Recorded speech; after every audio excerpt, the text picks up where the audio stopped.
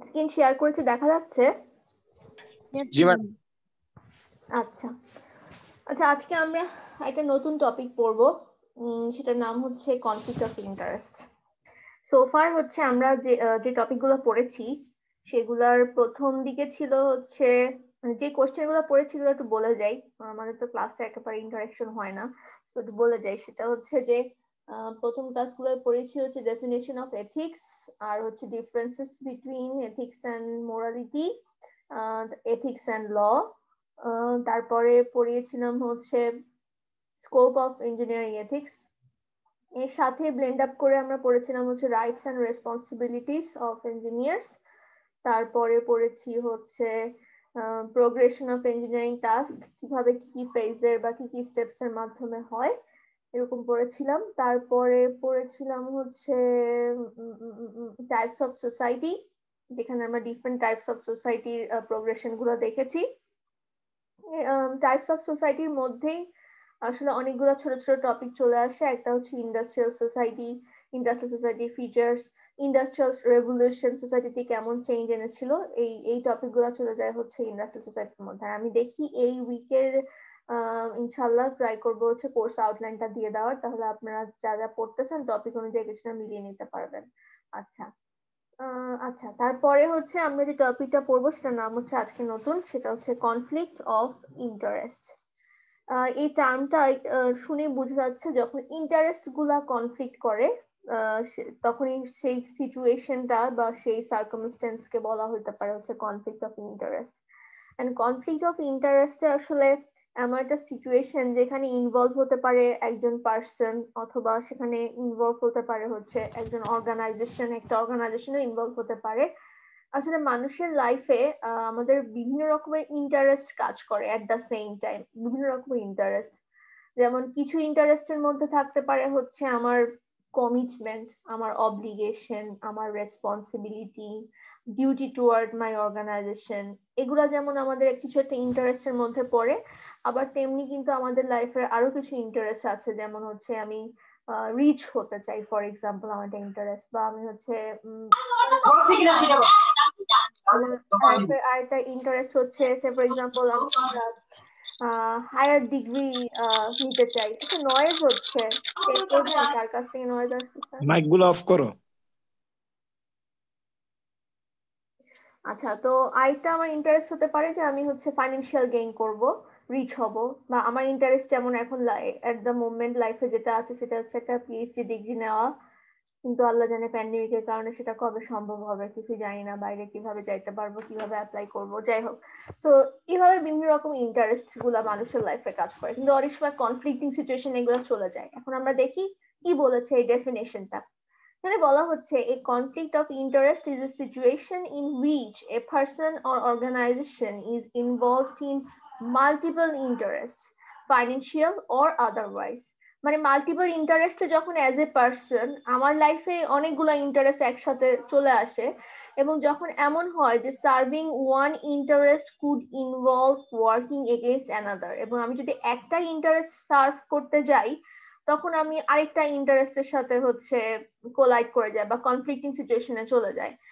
তখন সেই সিচুয়েশনটাকে বলে হচ্ছে কনফ্লিক্ট অফ ইন্টারেস্ট সিচুয়েশন এখানে আবার লেখা হয়েছে অ্যান্ড ইন্টারেস্ট ইজ এ মানে ইন্টারেস্ট কেমন হতে পারে? এটা হতে পারে কোনো certain form of commitment obligation duty or goal associated with a particular social role or practice. আমাদের say for example as a person আমি ডিফারেন্ট রোল পালন করি না? ধরেন সে ফর এক্সাম্পল আমি হচ্ছে মাদার আমি হচ্ছে কারও ওয়াইফ আমি হচ্ছে কারও ডটার আমি হচ্ছে কারও টিচার তো এই যে ডিফারেন্ট রোলগুলো অ্যাজ হিউম্যান বিং আমরা পালন করি তো এগুলো যখন কনফ্লিক্টিং সিচুয়েশনে চলে যায়, তখন সেটাকে কনফ্লিক্ট অফ ইন্টার সিচুয়েশন বলে। বাট এখানে তো আমারটা কোনো মানে আমাকে দিয়ে আমি জাস্ট এক্সাম্পল দিলাম। বাট আমাকে অর্গানাইজেশনাল ক্ষেত্রে এক্সাম্পল দিয়ে বা আমারটা আনএথিক্যাল প্র্যাকটিসে এক্সাম্পল দেওয়া যাবে না। যা একটু পরে বুঝাচ্ছি কেন। By definition, a conflict of interest occurs if within a particular decision making context, an individual is subject to two coexisting interests. That are in direct conflict with each other আমাকে দিয়ে আমি যে এক্সাম্পলটা দিলাম, সেটা আসলে কনফ্লিক্ট অফ ইন্টারেস্টের example না, সেটা হচ্ছে রোল কনফ্লিক্টের এক্সাম এক্সাম্পল যে আমার বিভিন্ন রোল আছে, যখন একটা রোল পালন করতে গিয়ে আরেকটা রোলের সাথে হচ্ছে কনফ্লিক্ট ইনস্টিটি চলে যায়, সেটা হবে role of role conflict but ইন্টারেস্টে যখন আমরা সার্ভ করতে যাই, তখন আমরা অনেক সময় আনএথিক্যাল প্র্যাকটিসে চলে যাই। সেটা কীভাবে একটু পরে যখন আমরা টাইপসগুলো পড়ব, আমাদের কাছে ক্লিয়ার হয়ে যাবে Such a matter is of importance because under such circumstances, the decision-making process can be disrupted or compromised. যখন আমি কনফ্লিক্টিং অফ ইন্টারেস্টে চলে যাই বা সিচুয়েশনে পড়ি তখন আমার ডিসিশন মেকিংটা এমন হতে পারে যে আমি একটা ইন্টারেস্টকে প্রাধান্য দিতে গিয়ে আরেকটা ইন্টারেস্টের উপর ওয়েট দিতেছি বেশি এবং তখন কি হয় আমার এটাও ডিসরাপ্টেড ডিসিশন হতে পারে বা কম্প্রোমাইজড হতে পারে যে আমি এথিক্সের সাথে কোনো কিছু কম্প্রোমাইজ করলাম যেটা আমার ইন্টিগ্রিটিকে আমার সততাকে এফেক্ট করতে পারে বা কোনো কিছুর রিলায়েবিলিটি অফ দ্য আউটকামকে হচ্ছে এফেক্ট করতে পারে। এখন আপনাদের কাছে আরও ক্লিয়ার হয়ে যাবে এই যে কনফ্লিক্ট অফ ইন্টারেস্টকে বোঝানোর জন্য এখানে দুই রকমের ইন্টারেস্টের কথা দেয়া আছে। একটা হচ্ছে প্রাইমারি ইন্টারেস্ট আর এটা হচ্ছে সেকেন্ডারি ইন্টারেস্ট প্রাইমারি ইন্টারেস্ট মানে কি? যে আমার লাইফের বা এমপ্লয় হিসেবে আমার, আমি একটা অর্গানাইজেশনের সাথে যুক্ত, আমার একটা রোল আছে। এখন সেগুলো, সেই রোলের অনুযায়ী আমার যে অব্লিগেশনগুলো আছে বা যে ডিউটিসগুলো আছে বা যে প্রিন্সিপাল গোলগুলো আছে, সেগুলাকে বলা যেতে পারে প্রাইমারি ইন্টারেস্ট যেমন প্রোটেকশন অফ ক্লায়েন্ট আমি যদি কোনো কোম্পানিতে কাজ করি, সেখানে ক্লায়েন্টদের প্রোটেকশন দেওয়া সেটা হচ্ছে প্রাইমারি ইন্টারেস্টের মধ্যে পড়ে। তারপর হচ্ছে health of patients say for example you are serving a certain organization as a doctor তখন সেই, সেখানে ডক্টর অ্যাজ এ ডক্টর হিসেবে আপনার হেলথ অফ পেশেন্টকে দেখা হচ্ছে আপনার একটা প্রিন্সিপাল গোলের মধ্যে পড়ে। And the integrity of research and the duties of public officer এগুলো হচ্ছে সবই আমার প্রাইমারি ইন্টারেস্টের মধ্যে পড়ে গেল প্রাইমারি ইন্টারেস্টের মধ্যে। সেকেন্ডারি ইন্টারেস্ট কি? মাই পার্সোনাল বেনিফিট যেটা হতে পারে শুধুমাত্র ফাইন্যান্সিয়াল গেইন করতে চাচ্ছি এমন না। সে ফর এক্সাম্পল আমি কোনো একটা প্রমোশন চাচ্ছি আমার নিজের একটা প্রমোশন চাই বা আমি নিজে একটা ভালো চাকরি পাইতে চাই বা সে ফর এক্সাম্পল আমি চাই যে আমার ফ্যামিলির কেউ একটা ভালো জব পাক, তখন আমি কি করতে পারি? যে আমার এই সেকেন্ডারি ইন্টারেস্টগুলো আসলে রং না। মানুষের লাইফে সেকেন্ডারি ইন্টারেস্টগুলো থাকতেই পারে। মানুষ সবাই চাইতে পারে যে আমি পার্সোনাল বেনিফিট করব ফাইন্যান্সিয়াল গেইন করব, আমার ফ্যামিলির কোনো একটা কারও ভালো চাকরি আমি চাই। এগুলো secondary interest are not treated as wrong in and of themselves but become objectionable এগুলো অবজেকশনেবল হবে তখন, বা এগুলো আনএথিক্যাল প্র্যাকটিস বা ইলিগেল বলা হবে তখন, যখন আমরা গ্রেটার ওয়েট দিয়ে দিব দেন দ্য প্রাইমারি ইন্টারেস্ট যখন আমি লাইফের এই সেকেন্ডারি ইন্টারেস্ট গুলাকে প্রাইমারি ইন্টারেস্টের থেকেও বেশি হচ্ছে বেশি ওয়েট দিয়ে ফেলি, বা সেকেন্ডারি পার্সোনাল প্রাইমারি ইন্টারেস্ট থেকে আমি সেকেন্ডারি ইন্টারেস্ট করতে গিয়ে প্রাইমারি ইন্টারেস্টের রুল গুলাকে ভায়োলেট করে ফেলি তখন সে সিচুয়েশনটাকে বলা হয় হচ্ছে conflict of interest so conflict of interest is a set of circumstances that creates a risk that professional judgment or actions regarding a primary interest will be unduly influenced by a secondary interest আমার যখন আমি কোনো decision নেই, তখন এমন একটা situation বা এমন একটা রিস্ক সিচুয়েশন হয়ে যায় যে আমার প্রফেশনাল জাজমেন্টের ক্ষেত্রে আমার লাইফের সেকেন্ডারি ইন্টারেস্টগুলো আমার প্রাইমারি ইন্টারেস্টকে ইনফ্লুয়েন্স করছে।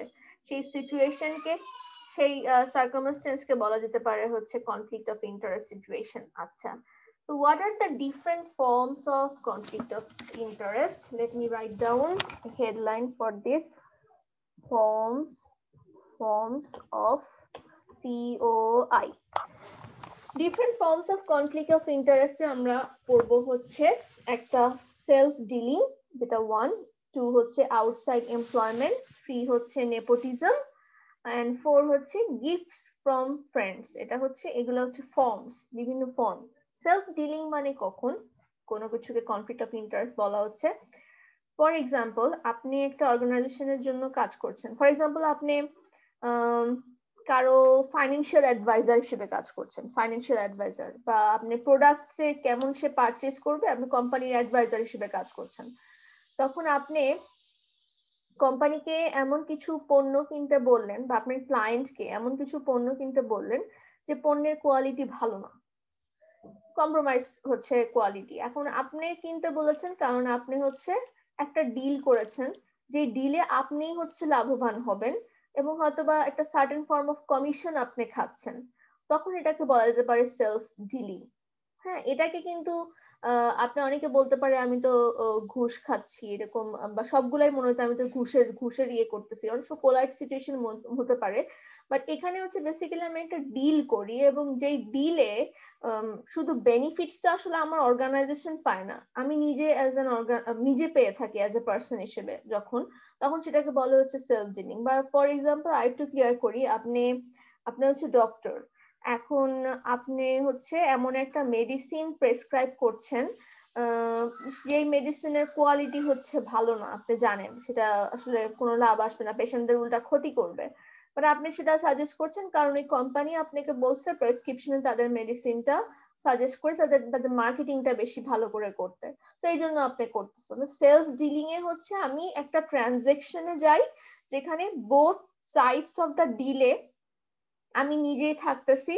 এবং এটা হচ্ছে এক ওয়ান ফর্ম অফ বলতে পারেন আনএথিক্যাল প্র্যাকটিস বা one form of conflict of interest যেখানে আমি সেকেন্ডারি ইন্টারেস্টকে আমার ফাইন্যান্সিয়াল গেইনকে বেশি প্রাধান্য দিচ্ছি rather than my primary interest So, self-dealing in which an official who controls an organization causes it to enter into transaction with the official or with another organization that benefits the official only. And the official is both sides of the deal. অর্থাৎ both side of the ডিলে কিন্তু প্রায় officially থাকে এবং উনি হচ্ছে ডিলটা করে। So এটাকে বলা হয় হচ্ছে একটা সেলফ ডিলিং সিচুয়েশন আউটসাইড এমপ্লয়মেন্টও সামটাইমস বলা যেতে পারে এটা কনফ্লিক্ট অফ ইন্টারেস্ট হিসেবে কাজ করে। এখন অ্যাট দ্য সেম টাইম আপনি একটা চাকরি করে এর পাশাপাশি আরেকটা চাকরি করতেই পারেন। অনেকেই করে থাকে। বাট কখন এটাকে কনফ্লিক্ট অফ ইন্টারেস্ট বলা হবে? যখন আপনি সেই চাকরির স্কেডিউলের সাথে আরেকটা চাকরির স্কেডিউল কলাইড করতেছে বা এটার ইন্টারেস্টের সাথে আরেকটা ইন্টারেস্ট কলাইড করতেছে, তখন যে সিচুয়েশনটাকে বলবে হচ্ছে আউটসাইড এমপ্লয়মেন্টে কনফ্লিক্ট অফ ইন্টারেস্ট হচ্ছে এরকম। এই জন্য অনেক অর্গানাইজেশনে যাতে কনফ্লিক্ট অফ ইন্টারেস্ট না হয় এই জন্য আউটসাইড এমপ্লয়মেন্টকে হচ্ছে রেস্ট্রিকশন করে রাখছে। যে সে ফর এক্সাম্পল যারা ডিফেন্সে কাজ করে তারা চাইলেই ডিফেন্সের কাজের বাইরে অন্য কোনো অর্গানাইজেশনে কাজ করতে পারে না। খ্যাপ মারা কাজও করতে পারবে না তারা বা পার্ট টাইমার হিসেবে তারা কোনো জায়গায় কাজ করতে পারবে না। এটা এখানকার রুলস রেগুলেশন যাতে কনফ্লিক্ট অফ ইন্টারেস্ট ব্যবসা করতে পারবে না? না করতে পারে না লিগেলি করতে পারে না। ওকে মিস আচ্ছা বাট অনেকে করে আসলে।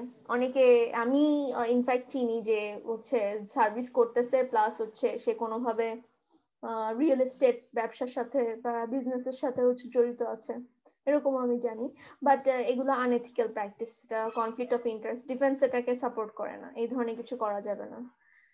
ইনফ্যাক্ট এরকমও আছে যে কিন্তু ম্যাম আমি তো আমার ডিফেন্সের কাজটা ঠিক মতো করেই তো ব্যবসা বা আদার্স জব করতেছি তো এখানে তো রং কিছু ওদের রুলস রেগুলেশন আপনাকে বলতেছে এটা করতে না এখন আপনি সেটা কেন করবেন? আমি আসান অনলাইন কাজ করতেছি আসান অনলাইন আপনি বললেন ম্যাডাম আপনি তো ক্লাস করতেছেন ক্লাসের সাথে আমাদের একটা রুটিন পড়তেছে ফর এক্সাম্পল এন্ড রুটিনের মাঝখানে আমি গিয়ে ব্র্যাকে ক্লাস নিতে চাই। রুটিনও কোলাইড করে নাই। বাট আপনার আসান অনলাইন একটা ওয়ার্কিং স্কেডিউল আছে না ফর এক্সাম্পল আছে না? আসান অনলাইন বলতেছে এতটা থেকে এতটা পর্যন্ত কাজ করবা। তো আমরা কি তখন চাইলেই সেই প্রতিষ্ঠানের মানে থেকে অন্য জায়গায় চলে যেতে পারি। অনেকে যায়, অনেকে কিন্তু যায় বাট এটা হচ্ছে একটা কনফ্লিক্ট অফ ইন্টারেস্ট সিচুয়েশনে পড়ে যায়। মানে ওয়ার্ক অনুযায়ী ওয়ার্কের বাইরে গিয়ে আপনি করতে পারবেন, যদি পারমিশন থাকে, যদি পারমিশন থাকে। যেমন ডিউই বা গভর্নমেন্ট ইউনিভার্সিটি যারা আছে, তারা এসে পার্ট টাইম করতেছে, ওদের ওরকম পারমিশন আছে এটা কোনো সমস্যা না। বাট ম্যাক্সিমাম প্রাইভেট জবে অনেক সময় এটাকে পারমিশন দেয় না করতে। তখন আপনি করতে পারেন না। মানে ফাইন্যান্সিয়াল গেইনের জন্য আপনি যে এথিক্যাল কোড অফ এথিক্সটা আছে, সেটাকে ব্রেক ডাউন করতে পারবেন না বা সেটাকে ভায়োলেট করতে পারেন না। বুঝছেন? এটাকে বলা হচ্ছে আউটসাইড এমপ্লয়মেন্টকে এই জন্য বলা হয় কনফ্লিক্ট অফ ইন্টারেস্ট আমি চাচ্ছি দুইটা চাকরি করে ভালো করতে বাট আমার এক চাকরি ইন্টারেস্টের সাথে ফর এক্সাম্পল আই চাকরি ইন্টারেস্ট হচ্ছে কনফ্লিক্ট করে যাচ্ছে। তখন সেটাকে বলবে আউটসাইড এমপ্লয়মেন্ট বাট এটা সবসময় যে খারাপ এরকম না। সবসময় এটাকে আনএথিক্যাল প্র্যাকটিস হিসেবে আপনি বলতে পারবেন না। বাট যদি অর্গানাইজেশনের কোড অফ এথিক্স থাকে যে তুমি করতে পারবা না, কিন্তু তাও তুমি করতেছো তোমার নিজের গেইনের জন্য, তখন সেটাকে আপনি অবশ্যই কনফ্লিক্ট অফ ইন্টারেস্ট সিচুয়েশনের মধ্যে ফেলতে হবে। আচ্ছা নেপোটিজম নেপোটিজম মানে বাংলায় যেটাকে বলে স্বজন প্রীতি। স্বজনদের ভালোবাসা আমাদের অনেক থাকে, আমরা সবাই স্বজনদেরকে ভালোবাসি এবং আমরা চাই স্বজনরা ভালো করুক। এই জন্য আমরা সবসময় চাই চাকরি তাদেরকে রিক্রুট করতে।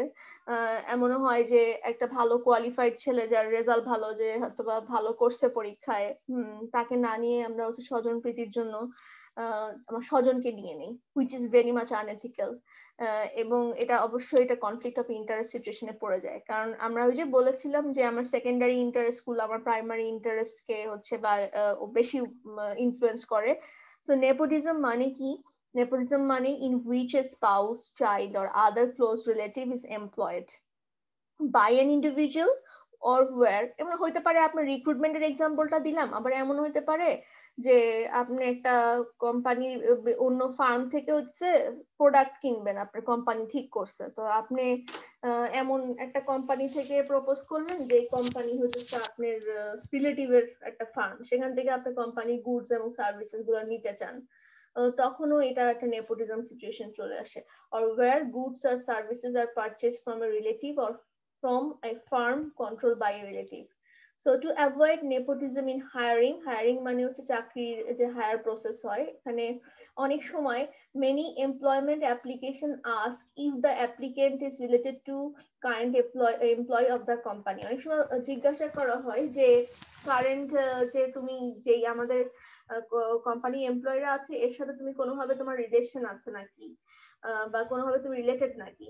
So this allows re, uh, recusal if the employed relative has a role in the hiring process. আমি একটু পরে recusal ভালো করে বুঝিয়ে if this is the case the relative could then recuse from any hiring decision আচ্ছা একটু recusal বুঝাবো এটা ক্লিয়ার হয়ে যাবে যে কি আসলে recusal বলতে কি বোঝানো হয়েছে কীভাবে হায়ারিং প্রসেস থেকে দূরে থাকতে পারব তো এক কথা বলতে গেলে যে আমরা যখন কোনো কিছু নিয়ে কাউকে ফেভারিটিজম করি, যে আমার আত্মীয় বা আমার কিনশিপ বা আমার ফ্রেন্ডস বা আমার ক্লোজ কেউ, তখন হচ্ছে সিচুয়েশনকে বলে হচ্ছে নেপোটিজম সেটা হায়ারিং প্রসেসে হতে পারে কোম্পানির প্রোডাক্টের ক্ষেত্রে হতে পারে, বা ফর এক্সাম্পল কোম্পানি কোনো কিছু অ্যাডভাইজের ক্ষেত্রেও হতে পারে, যখন আমি অন্য মানুষকে হেল্প করতেছি এর মধ্যে ডিজার্ভিং তাকে নিতেছি না বা ডিজার্ভিং ক্যান্ডিডেটদের কাছ থেকে প্রোডাক্ট নিতেছি না বা সে আমার সাপ্লাই হিসেবে আমি তাকে সিলেক্ট করতেছি না তখন সিচুয়েশনকে বলতে হচ্ছে নেপোটিজম আচ্ছা এরপরে নেপোটিজম যেটা সবচেয়ে বেশি কমন যেই দুইটা টাইপস বলতে পারেন বা যে দুই সেক্টরে দেখা যায় খুবই এটা আমাদের দৃষ্টিগোচর অবজারভেবল একটা সিচুয়েশন চারপাশে ঘটনা ঘটে থাকে, সেটা হচ্ছে পলিটিক্যাল ক্ষেত্রে এবং অর্গানাইজেশনাল ক্ষেত্রে। পলিটিক্যাল ক্ষেত্রে নেপোটিজমটা খুবই কমন এবং যেখানে দেখা যায় যে রিলেটিভদের মাধ্যমে অন্য রিলেটিভরা হচ্ছে পলিটিক্সে চলে আসে। এবং সাধারণত আমরা অনেক সময় বলে থাকি যে আমরা ডেমোক্রেটিক ওয়েতে সবকিছু করছি বাট দেখা যায় যে আমাদের ওই পারিবারিক সমাজ ব্যবস্থার মধ্যে অনেকটা রাজ মানে বলতে পারব রাজতন্ত্র যে সিস্টেমে আমরা শিখেছিলাম মনার্কি বলেছিলাম যে রাজার ছেলে রাজা এরকম একটা সিস্টেম চলে আসছে। সো নেপোটিজমটা আসলে এমনই দেখা যায় মোস্ট অফ দ্য কান্ট্রিজে যেখানে আসলে nepotism is a common acquisition in politics when the relative of a powerful figure ascends to similar power seemingly without appropriate qualification অর্থাৎ কোয়ালিফিকেশন বা কিছু তেমন না থাকলেও দেখা যায় যে রিলেটিভ বা রিলেশনের সূত্রতে আসলে অ্যাসেন্ড করছে একটা একটা একটা রোলে বা একটা পলিটিক্যাল লিডার হিসেবে। তো এটা হচ্ছে নেপোটিজম পলিটিক্যাল ক্ষেত্রে হয়ে থাকে আর অর্গানাইজেশনাল সেক্টরেও হয়ে থাকে, যেখানে তো আমরা বললামই যে ম্যাক্সিমাম অর্গানাইজেশনে পরিচিতরা রিক্রুট হয়, পরিচিতদের রিক্রুট করা হয়। যেখানে আমি হয়তো বা বলতে পারি যে অনেকটা হচ্ছে লবিংও করতে পারি। বলতে পারি যে, আমার একটা এরকম মানুষ আছে তার অ্যাপ্লিকেশনটা একটু দেখেন। এরকম আমরা অনেক সময় বলি যে, একে দেখেন একটু, একে নেওয়া যায় নাকি? সো এটা বলি আমি, এটা ফেভারিটিজমে চলে গেলাম। এবং এটা সত্যি কথা, যে ক্যান্ডিডেটটার সাথে করতেছি, সেও যেমন নেপোটিজমে ইনভলভ হচ্ছে, আবার আমি যদি করে থাকি অ্যাজ এন এমপ্লয়ি অর্থাৎ এমপ্লয়ার অথবা এমপ্লয়ি বোথ আর গিলটি এবং বোথই এখানে আনএথিক্যাল প্র্যাকটিসে ইনভলভ হচ্ছে। কারণ দুজনেরই, দুজনের এন্ডস থেকে এটা করা উচিত না। আচ্ছা। বাট ইটস ভেরি কমন এটা, এটাকে আমরা অতটা বেশি গুণা হিসেবেও দেখি না এবং আনএথিক্যাল প্র্যাকটিস হিসেবে আমরা দেখি না। It's very common among us gift from friends মানুষের কাছ থেকে গিফট নিতে কোনো সমস্যা নেই। গিফট নেওয়াই যায়। যদি আপনি থার্টি ফার্স্টে কেউ নতুন ইয়ারের একটা ফর এক্সাম্পল ইয়ে দিল একটা কি বলব আমাদের ডায়েরি বের হয় বিভিন্ন কোম্পানি দিয়ে থাকে অনেক সময়। কিন্তু এটা কিন্তু আপনি বলতে পারবেন না যে কনফ্লিক্ট অফ ইন্টারেস্ট হয়ে গেছে। ডায়েরি নিচ্ছে কলম নিচ্ছে আমার কাছ থেকে। অনেক সময় কিন্তু কোম্পানি তার গুড রিলেশনশিপ রাখার জন্য সে ফর এক্সাম্পল আমার আমার কোম্পানির যে ফার্নিচারগুলো, সেটা হচ্ছে ফর এক্সাম্পল নাবানা সাপ্লাই করে ফর এক্সাম্পল নাবানা আমাকে ইয়ার এন্ডে এরকম যদি পাঠায় এটা কিন্তু খুব বেশি আপনি নাবানা আপনাকে ঘুষ দিতেছে, কারণ নাবানা থেকে ঘুষ খাওয়া ফেলছেন, এরকম ভাবার কোনো কারণ নেই। বা এটা খারাপ বা আনএথিক্যাল প্র্যাকটিসও বলা হবে না।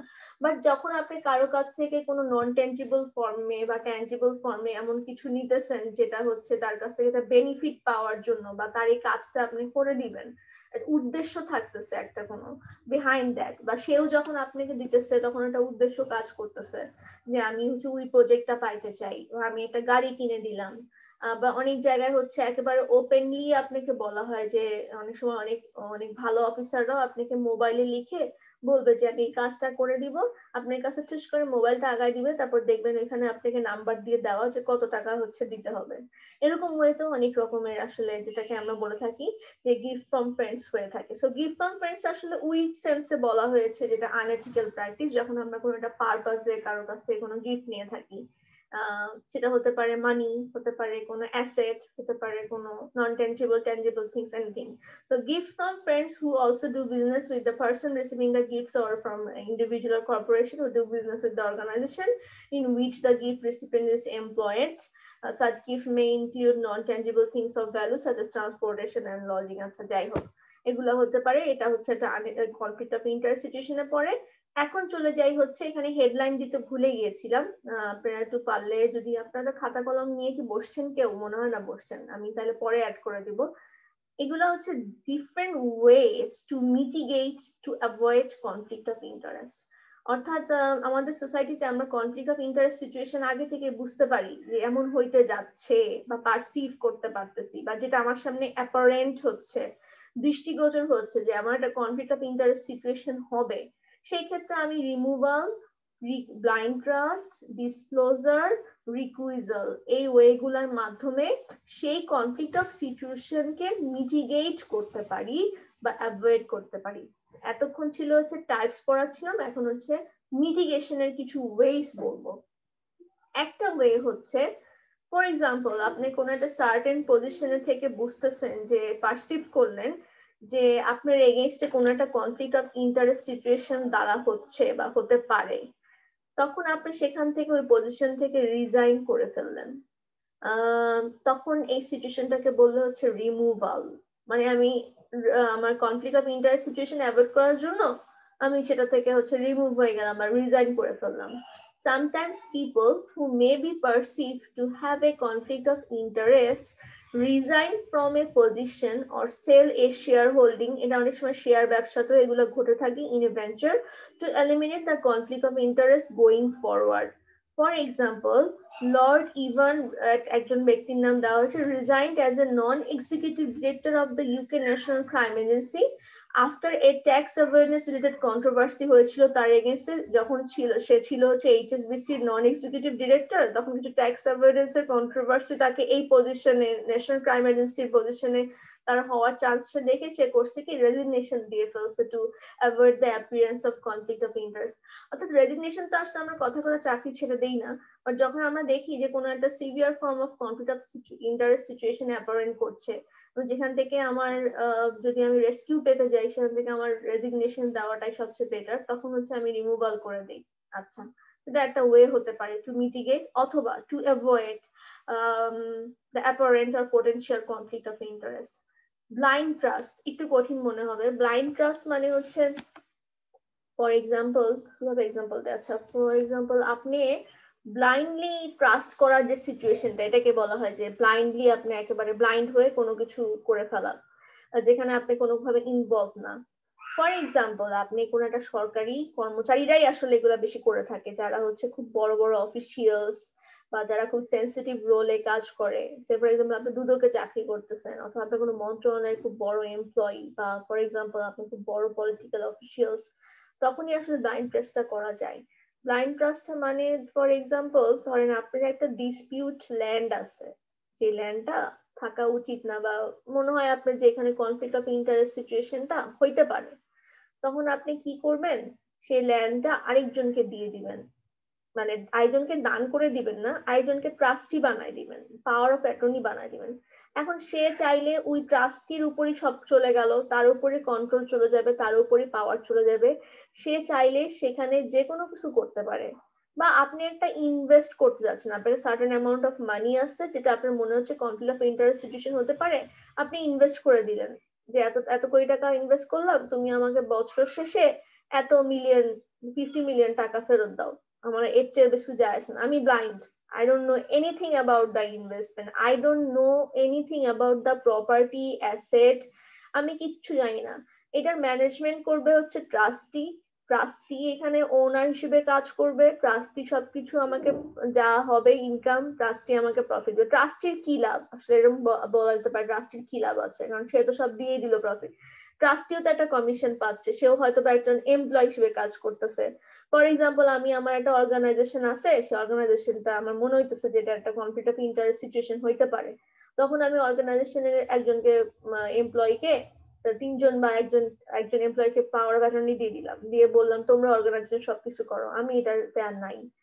যা হবে তোমরা করবা সবকিছু, তোমরাই ম্যানেজ করবা। তোমরা অর্গানাইজেশন নিয়ে সসেজ ফ্যাক্টরি দিতে পারো, অথবা তোমরা গাড়ির ফ্যাক্টরি দিতে পারো, যে কোনো কিছু দিতে পারো আমি কিছু জানি না এবং আমাকে শুধু তুমি এতটুকু হচ্ছে প্রফিট দাও। আমি এখান থেকে এত অ্যামাউন্ট হচ্ছে প্রফিট চাই। তো এটাকে বলা হয় হচ্ছে ব্লাইন্ড ট্রাস্ট যে কনফ্লিক্ট অফ ইন্টারেস্ট সিচুয়েশনকে মানে আমি এড়ানোর জন্য আমি ফুল কন্ট্রোল দিয়ে দিই কারও উপরে blind trust is a trust established by the owner ওনারকে বলা হচ্ছে ট্রাস্টার গিভিং অ্যানাদার পার্টি আরেকজনকে দিয়ে দিচ্ছি the ট্রাস্টিকে full control of the trust and the trustee has full discretion কথাটার মানে হচ্ছে control বা power over the assets and investment while being charged with managing the assets সেই ম্যানেজ করবে and any income generated in the trust সেই হচ্ছে income generate করবে so blind trusts are often established in situation when individuals want to avoid conflict of interest between their employment and investment certain একটা জবের part হিসেবে বা কোনো একটা role professional role আমি পালন করছি, সেখানকার সাথে আমার ইনভেস্টমেন্টে যদি কনফ্লিক্ট অফ ইন্টারেস্ট সিচুয়েশন মনে হয় যে এইটা হচ্ছে সমস্যা বা সেকেন্ডারি আমার ইয়ে থাকতে পারে, তখন আমি হচ্ছে কি করব? সেটাকে অ্যাভয়েড করার জন্য আমি আরেকজনের নামে ট্রাস্ট দিয়ে দিব। এটাকে বলে হচ্ছে ব্লাইন্ড ট্রাস্ট ডিসক্লোজার ডিসক্লোজার কথাটার মানে হচ্ছে যে সবকিছু ডিসক্লোজ করে দেওয়া, সবকিছু বলে দেওয়া যে শুনো, আমি পাবো, আমার এত পরিমাণে অ্যাসেট আছে, আমার এত লোন আছে, আমার অমুক ব্যাংকে এত টাকা আছে, তমুক ব্যাংকে অত টাকা আছে, আমার এত এতটুকু প্রপার্টি আছে, যেটা কেউ আসলে করে না। সবাই কি করে? সবাই হাইড করে রাখতে চায়। কিন্তু আলটিমেটলি গিয়ে এক সময় তো অনেক সময় অনেকে অনেকে আর কি, অনেকের ক্ষেত্রে ধরাও খায়া যায় আসলে। তো ডিসক্লোজার মানে হচ্ছে যে পলিটিশিয়ানরা অথবা হাই র্যাঙ্কিং গভর্নমেন্ট অফিসিয়ালরা তারা তাদের ফাইন্যান্সিয়াল যে ইনফরমেশনগুলো আছে বা রেকর্ডগুলো আছে, সেগুলো তারা আগে থেকে ডিসক্লোজ করে দিবে। সেটা হতে পারে স্টক সেটা হতে পারে ডেট মানে হচ্ছে ঋণ তার কত টাকা কোন ব্যাংকে হচ্ছে সে লোন নিছে ডেট আছে তার ঋণ আছে সবকিছু সে আগে থেকে বলে দিল So certain professionals are required either by rules related to their professional organization or by statute to disclose any actual potential conflict of interest. Potential conflict of interest K avoid করার জন্য এটা করা যেতে পারে আচ্ছা তো যদি আমি কোনো কোনো ক্ষেত্রে ডিসক্লোজার না করি, সেক্ষেত্রে এটা আমার ক্রাইম হিসেবে ধরা হয়। যে আমাকে অর্গানাইজেশন আগে থেকে বলছে যে, তুমি ডিসক্লোজ করো। কিন্তু আমি ডিসক্লোজ করলাম না। আমি ভাবলাম যে, আমি তমুকের নামে সম্পত্তি লিখে রাখতেছি তো আরেকজনের নামে সম্পত্তি লিখে রাখব। আমার নামে লাগবো না সরাসরি এবং আমি ডিসক্লোজ করব না। কিন্তু এটা হচ্ছে একটা, এক ওয়ান ফর্ম অফ ক্রাইম ধরা হয়। ঠিক আছে? তখন দুর্নীতি দমন আপনাকে ধরতে পারে। অনেক সময় অনেক এরকম কিছু মানুষের এগেনস্টে এখন চলতেছেও আমি নাম না বলি। আচ্ছা তো রিকুইজাল তো রিকুইজাল মানে হচ্ছে ফর এক্সাম্পল আপনি কোনো একটা ডিসিশন মেকিং প্রসেস থেকে নিজেকে এক্সকিউজ করা নিজে সরে দাঁড়ানো। এখন আমার এনি সেকশনে আমার নিজের বোন পড়ছে ফর এক্সাম্পল আপনাদের সেকশনে ফর এক্সাম্পল এখন আমার বোন পড়তেছে, এখন আমার বোন ধরেন আমি বোনকে এ প্লাস দিতে পারি এমন হইতে পারে সে পায় না। আবার এমন হতে পারে যে বোন আসলে এ প্লাসই পাইছে। বাট আমি বুঝলাম যেটা থেকে কনফ্লিক্ট অফ ইন্টারেস্ট সিচুয়েশন হইতে পারে। সে এ প্লাস পাইলে বাকিরা বলবে আরে আমার বোন ছিল দেখে ওকে এ প্লাস দিয়ে দিচ্ছে এটাই সাধারণত হয়। তখন আমি এই ধরনের সিচুয়েশন অ্যাভয়েড করার জন্য যেটা করতে পারি ওইবার আমি এমিতে ক্লাস নিব না। ওই সেমিস্টারে আমি এমিতে ক্লাস নিব না। বা ফর এক্সাম্পল ইন্টারভিউ বোর্ডে আমার কোনো রিলেটিভ আসবে ইন্টারভিউ দিতে, আমি জানি, সে দিছে। হায়ারিং প্রসেসে বলেছিলাম না একটু আগে হায়ারিং প্রসেসে রিক্রুট করতে নিজেকে। অর্থাৎ ধরেন সে কোম্পানির অমুক এমপ্লয়ের আত্মীয়, সেটা সে লিখছে। তখন হচ্ছে সেই এমপ্লয়ি সেইবার ইন্টারভিউ বোর্ডেই থাকবে না বা সে কোনো ডিসিশন মেকিং প্রসেসকে ইনফ্লুয়েন্সই করবে না। এটা হচ্ছে নিজেকে এক্সকিউজ করা বা রিকিউজাল যেটাকে আমরা বলি।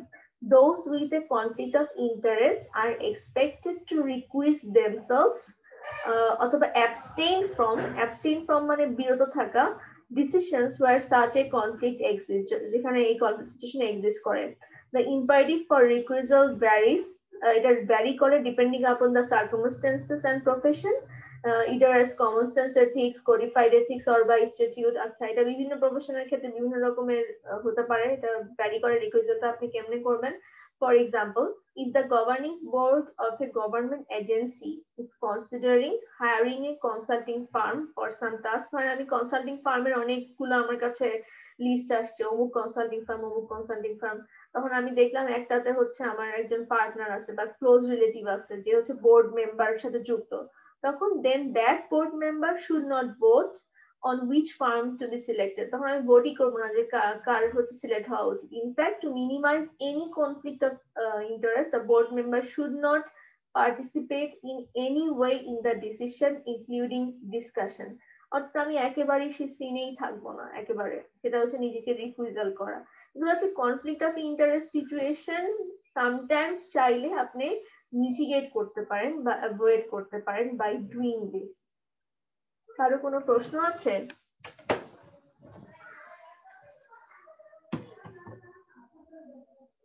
তাই কারও কোনো প্রশ্ন নাই? ম্যাম এখান থেকে কোশ্চেন গুলি কি ম্যাম কাইন্ড অফ ক্রিয়েটিভ টাইপের হবে? ক্রিয়েটিভ দিলে লিখতে পারবেন। ক্রিয়েটিভ প্রশ্ন কিছু থাকে। সেগুলো আসলে কেস দেওয়া যায় না। কেস সলভ করার মতো সময় থাকে না। কেসগুলা কি? কেস মানে হচ্ছে ফর এক্সাম্পল আপনাকে একটা সিচুয়েশন দিয়ে দিলাম। জি ম্যাম আমি আর কি এটাই ভাবতেছিলাম যে ম্যাম আপনি একটা সিচুয়েশনে ফেলাইলাম যে তুমি ধরো এরকম আছো তুমি একটা প্রতিষ্ঠানে কাজ করছ এমন হইতেছে। এখন তুমি কীভাবে সেখান থেকে ই করো? এরকম ফালানো হয়নি বাট আমরা এরকম সিচুয়েশন আমি ক্লাসে ডিসকাস করি ভেরি অফটেন বাট পরীক্ষায় যেটা করে থাকি অনেক সময় এরকম একটা স্টেটমেন্ট দেই, একটা স্টেটমেন্ট যেমন conflict of interest is a situation বা একটা রিকুইজাল ইজ আ ওয়ে যেটার মাধ্যমে তুমি এরকম করতে পারবা। এখন তুমি এই এই এই স্টেটমেন্টটাকে হচ্ছে তুমি এলাবোরেট করো। জি ম্যাম বুঝতে পেরেছি। এরকম থাকতে পারে। বাট সিচুয়েশন সলভ করার মতো প্রশ্ন এখনও দেইনি। সিচুয়েশন সলভ করার মতো প্রশ্ন। কারণ সিচুয়েশন সলভ করতে আসলে সময় লাগে অনেক। জি ম্যাম ভালো অ্যামাউন্ট ভাবতে হবে। হ্যাঁ ভাবতে হয়। তো এই সিচুয়েশনগুলো আসলে যেটা করা যেতে পারে যেটা ক্লাসরুমে অনেক সময় বলা যায় সিচুয়েশনগুলো সলভ করে ইন্টারেক্টিভ করার জন্য। বাট পরীক্ষাতে দিব না কিছু দেই তাহলে বলে দিব। কারণ আমাদের যেটা বলতেছিলাম এখন সবকিছু ওবি বেসড হচ্ছে তো। আউটকাম বেসড এডুকেশনে আমরা চলে যাচ্ছি। তো আউটকাম বেসড এডুকেশনে আমাদের কোয়েশ্চেনের অনেক কিছু হচ্ছে যে অবজেক্টিভ যেমন থাকে, যেমন আমি শিখাবো বাচ্চাদেরকে ফর এক্সাম্পল এথিক্যাল রিজনিং করা। বা এথিক্যাল ডাইলেমা সলভ করা শিখাবো। এরকম একটা ধরেন আমার কোর্সের অবজেক্টিভ আছে এথিক্যাল ডাইলেমা সলভ করা শিখাবো বাচ্চাদের। ফর এক্সাম্পল এখন আমি এথিক্যাল ডাইলেমা সলভ করা শিখাবো এটা তো অবজেক্টিভে বলে দিছি বাট এটা আমার কোয়েশ্চেনেও ফেলতে হবে। কোয়েশ্চেনে কীভাবে করতে হবে? আমার এথিক্যাল ডাইলেমাতে ফেলে একটা সিচুয়েশন সলভ করতে দিতে হবে। তো এখন আসলে এইবার কি হবে সেটা বলা যাচ্ছে না। আমরা এতদিন হচ্ছে এগুলাকে নিয়ে জাস্ট প্ল্যানিং করেছি আউটকাম বেসড এডুকেশন নিয়ে। বাট এখন আমরা যদি ইমপ্লিমেন্টেশনে চলে যাই যে তোমার কোর্সের যে অবজেক্টিভগুলো আছে সেগুলো তুমি ইমপ্লিমেন্ট করো তোমার কোয়েশ্চেনেও ইমপ্লিমেন্ট করো তখন কিছু কোয়েশ্চেন ওরকম থাকলেও থাকতে পারে। মানে এইবার এটা আসলে আমরা আমরা এতদিন পরীক্ষামূলক সম্প্রচারে ছিলাম ওবি নিয়ে। আস্তে আস্তে আমরা ওবি ক্লোজে চলে যাচ্ছি। তখন আসলে ওই অবজেক্টিভের সাথে আসলে মিল রাখার জন্য আর কি যেটা করতে হয় করতে হতে পারে। জি ম্যাম বুঝতে কোন সেকশন ম্যাম আমরা বি সেকশন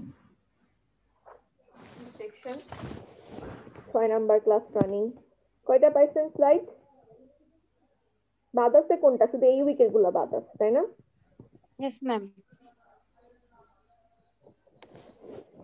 আচ্ছা 89 present ma'am 91 92 present ma'am. 93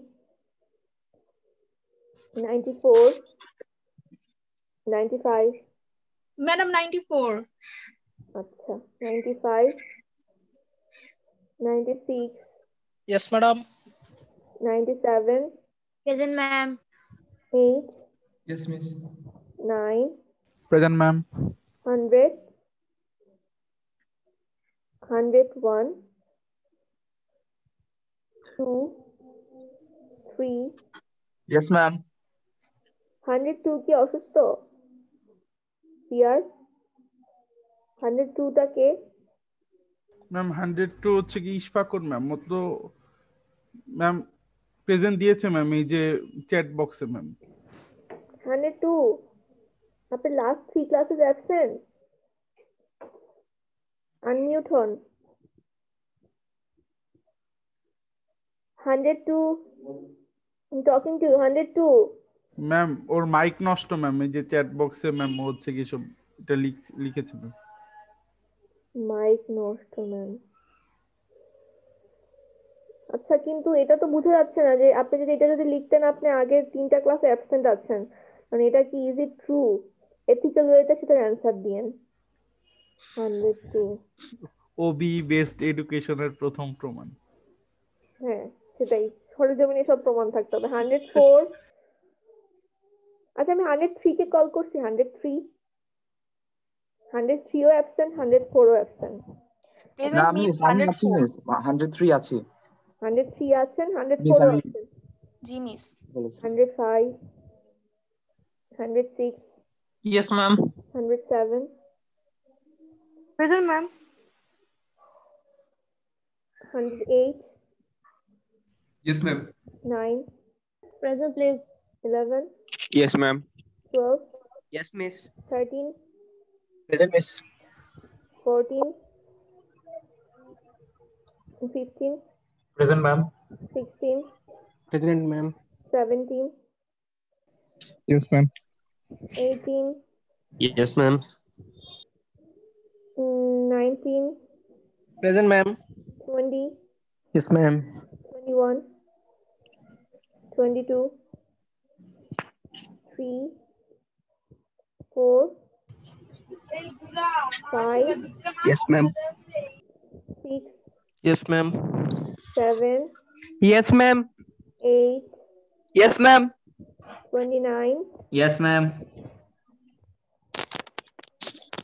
131. Yes, ma'am. 132. Present, ma'am. 3. Yes, ma'am. 4. Yes, miss. 5. Yes, miss. 6. 7. Yes, ma'am. 8. Yes, ma'am. 9. Present, please. 40. 41. Yes, miss. 41. 140. 140. That's 142. 41 আছে ম্যাডাম হ্যাঁ দিয়েছি। 142 142 143 present ma'am 144 Yes, ma'am.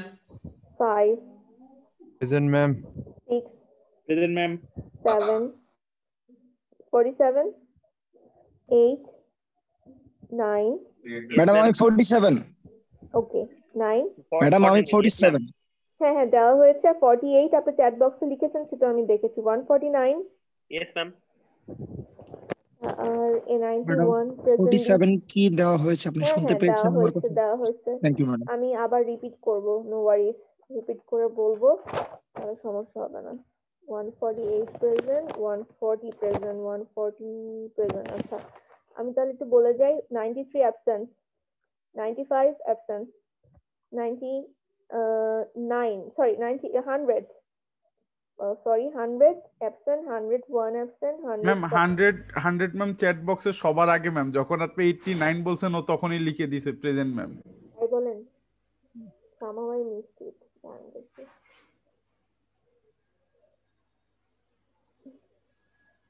Hundred লিখছে? দেখতে পাচ্ছেন? দেখতে পাচ্ছি ma'am আমি দেখতে পাচ্ছি। কোথায় লিখছে? এই যে ম্যাম হান্ড্রেড ওয়ানের আগে একদম অনেক আগে লিখেছে ম্যাম একদম প্রথমে যখন এইটটি নাইন ম্যাম দুইটা তিরিশ। হ্যাঁ লিখছে। দুইটা তিরিশে ম্যাম ঠিক বলছেন।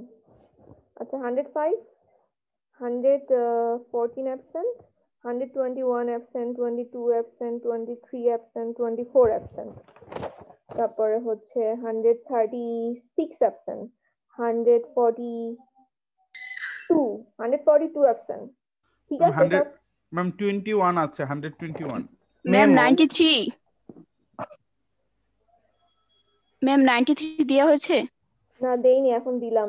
এই যে ওই নাইনটি ছিলেন এতক্ষণ। নাইনটি থ্রিও লিখেছে ম্যাম নাইনটি ওয়ানও লিখেছে। ম্যাডাম নাইনটি ফোর দেওয়া হয়েছে নাইনটি ফোর দেওয়া হয়েছে। আর কেউ মিসম্যাচ করছে আর কোনোটা? ম্যাম নাইনটি ওয়ান দিছি তো নাইনটি ওয়ান দেওয়া ম্যাম হয়েছে হান্ড্রেড টোয়েন্টি টু আছে ম্যাম না নাই. চ্যাট বক্সে লিখছিলেন hundred twenty two hundred twenty two chat বক্সে লিখছিলেন? মিস ও লিখেছে মিস এই যে চ্যাট বক্সে হান্ড্রেড টোয়েন্টি টু চ্যাট বক্সে গুলো মিস করে গেছি বেশ কয়েকটা যেটা খেয়াল করলাম কল করতে গিয়ে। আচ্ছা ঠিক আছে শেষ। যান থাকেন সব ভালো থাকেন। ও আরেকটা কথা হ্যাপি নিউ ইয়ার হেলদি এবং হ্যাপি থাকেন এটাই হচ্ছে কামনা হ্যাঁ আল্লাহ হাফেজ। আল্লাহ হাফেজ ম্যাম আসসালামু আলাইকুম। ওয়া আলাইকুম। ওয়ালাইকুম আসসালাম।